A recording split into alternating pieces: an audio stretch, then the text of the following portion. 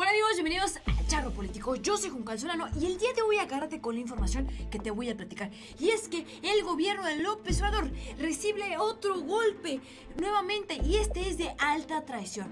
Pues ciertos funcionarios de Pemex hoy que la gallina de los huevos de oros está reviviendo y está generando, están comenzando a hacer actos de corrupción.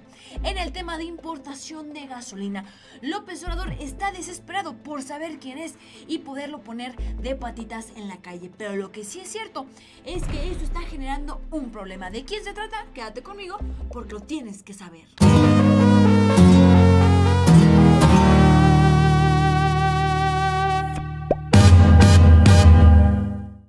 Pues bien, mis queridos charritos, es evidente que el tema de la corrupción es un problema que aún lo seguimos arrastrando y que si bien López Obrador está dando el ejemplo, él siendo el funcionario de México e intentando barrer las escaleras, como bien lo dice, de arriba hacia abajo, es claro que hay algunos que no quieren entender. Es claro que hay algunos que no quieren renunciar a estas prácticas corruptas porque le siguen siendo fieles a ciertos personajes panistas o priistas o le siguen trabajando a personajes como Carlos Romero de Champs porque, ojo, si bien es cierto, Pemex está trabajando para revivir esta empresa que se intentaron acabar, Peña Nieto, Felipe Calderón, Vicente Fox y así sucesivamente, la realidad, mis queridos charritos, es que eh, es, ha sido muy muy difícil y que realmente Carlos Romero de Champs sigue todavía en el cargo como líder sindical. No lo han podido sacar, tiene a su gente y no va a descansar hasta hacer la vida de cuadritos a López Obrador. Pues hoy nuevamente López Obrador recibe un golpe demoledor. ¿A qué me refiero? Siendo Pemex la empresa a la que más le está invirtiendo, hoy le anuncian al presidente de la cochina corrupción que se está generando hoy con los buenos resultados de Pemex tras las importaciones de combustibles. Nuevamente vemos cómo hay funcionarios que no quieren renunciar a estas prácticas pristas. Y vamos viéndolo en pantalla y es un golpe demoledor para López Obrador porque repito, es a la empresa a la que más le está invirtiendo. Imagínense ustedes ver que así le pagan ciertos funcionarios reviviendo y dando todo de sí mismo para que luego salgan, vean que le va bien a la empresa y comenzar a saquearla nuevamente no es justo. Hoy más que nada no podemos dejar solos a López Obrador, no podemos dejar solo este, este eh, proyecto de nación. Tenemos que sacarlo adelante y tenemos de una forma u otra denunciar a estas personas que no están dejando que México y Pemex avance. Y dice así. Esta nota fue publicada el 20 de mayo de 2019 y dice lo siguiente. Indagan a Pemex por posible corrupción en importaciones de gasolinas. Recordemos que la importación es cuando recibimos la gasolina de Estados Unidos. Exportar es que la mandamos a otros países. En este caso, hay corrupción al momento de exportar. ¿Qué quiere decir esto? Ciertos personajes declaran que llegan tantos barriles y la realidad es que ponen que llegan más y ellos van quitando, van quitando o dicen que llegan menos barriles, pero porque ellos le van quitando para poderlos vender en el famoso huachicol o venderlos por debajo de la mesa o más caros o se lo están robando y dice así. El gobierno federal investiga el esquema de importaciones de gasolina de petróleos mexicanos, que desde 1992 ha entrado en, P en el trending lot de filial de petrolera y dice, los millonarios contratos realizados para atraer combustible del extranjero que han llegado a alcanzar cifras de 26 mil millones de dólares anuales, incluyendo gasolina y diésel, son revisados porque en diferentes momentos se han detectado eh, probables compras en exceso. Es decir, dicen que hacen compras en exceso y realmente no es así. O dicen que compran menos pero llegan eh, importaciones grandes y luego le quitan barriles para que se eh, ajuste a la cifra que ellos ponen. Pero en realidad ya se llevaron esos barriles que a los mexicanos nos están costando y que sale del dinero de los mexicanos. Más de lo que demanda el mercado nacional, sin aparte sin eh, aparente razón y que podría consistir una importante fuga de recursos de daño patrimonial, de acuerdo con fuentes del sector energético mexicano presentes en el evento Offshore Technology Conference, realizado por Houston el 6 de mayo de 2019, del 6 al 9 de mayo. ¿Qué es lo que pasa? Esa es una práctica que siempre había existido. Más abajo el Universal nos platica lo siguiente. Antes, toda la vida ha existido desde 1992 que a toda la bola de patanes que han sido presidentes lo sabían. Pero ¿qué sucede? Cuando fue disminuyendo el dinero eh, con Pemex, cuando fueron disminuyendo las posibilidades y cuando poco a poco se iban acabando esta empresa, pues es evidente que menos recursos, pues menos, menos puedes comprar. Entonces, empezó a disminuir este robo porque pues ya iba a ser ya como ya no estaban soltando tanto recurso pues era difícil cada vez robarse más se roban lo que les permitían pero iba bajando un poco y preferían mejor robarlo directamente de las pipas o de la gasolina que ya llegaba aquí y ya se tenía contemplada ¿qué sucede ahora? como está aumentando la producción en Pemex, como está mejorando y como López Obrador está soltando más recursos, para comprar más gasolina y que no se escase y que no sea cada vez más cara. Entonces están dando el gusto y esta práctica corrupta está aumentando. Razón por la cual se descubrió a tiempo y ya comenzaron investigaciones internas. Ojo, repito, me duele esto porque no es posible que existan mexicanos que vean que alguien ya está arreglando las cosas y luego luego las quiere echar a perder.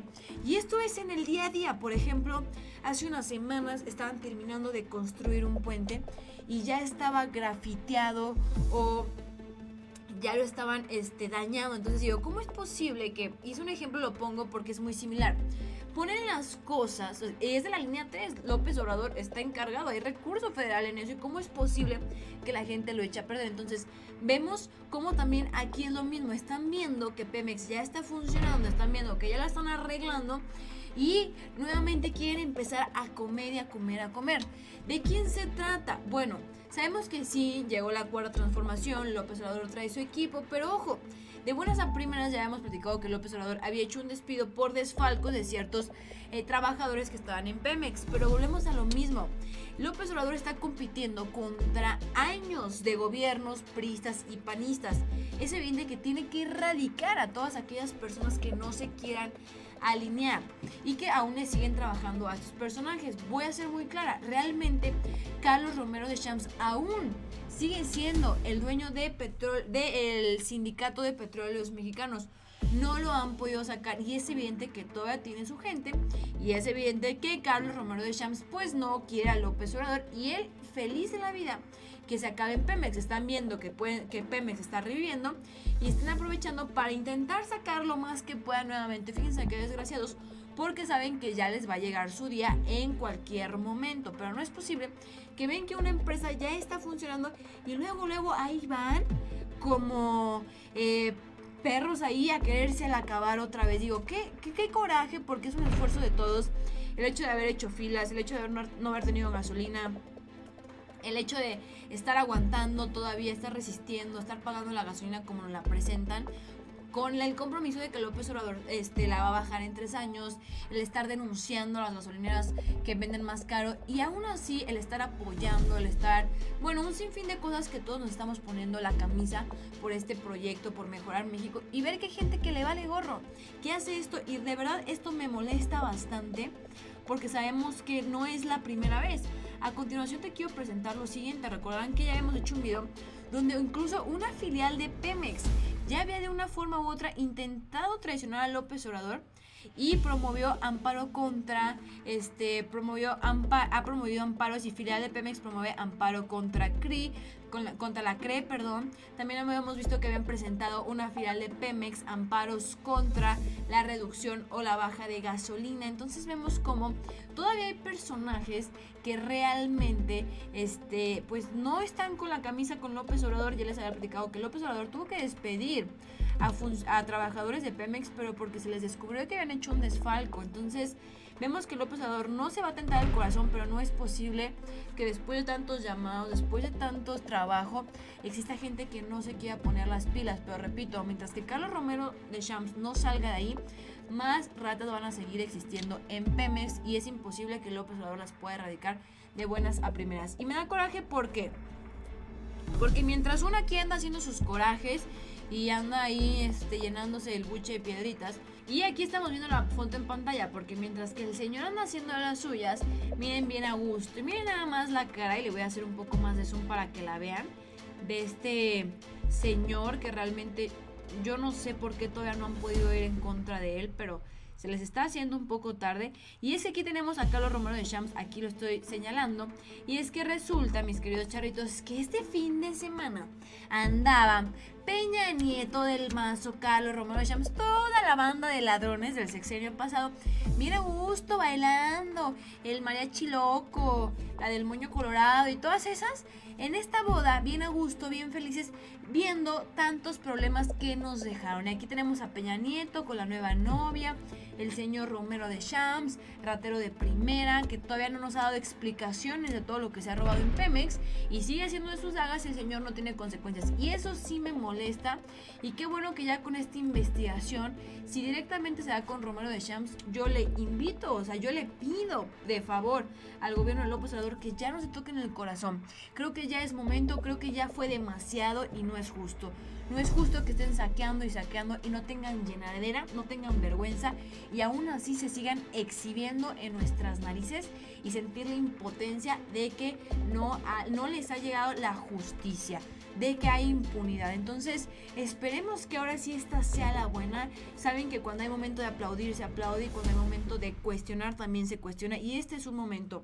Yo sé que el gobierno de López Obrador está trabajando, un ejemplo claro es esto, que ya se investiga, eh, comienzan las investigaciones, pero creo que es importante ya vincularlo de una forma u otra con Carlos Romano de Champs, porque todos sabemos que sí está detrás.